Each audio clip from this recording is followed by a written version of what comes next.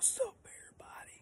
Me and my daughter, we're set up in a Tidewe blind, and I'm set up in a Tidewe chair. Turkey hunting. Got me a strutter back there, boy. Got us a hen decoy out in front of us. It's youth weekend in Louisiana. My son got one yesterday. Wish us luck.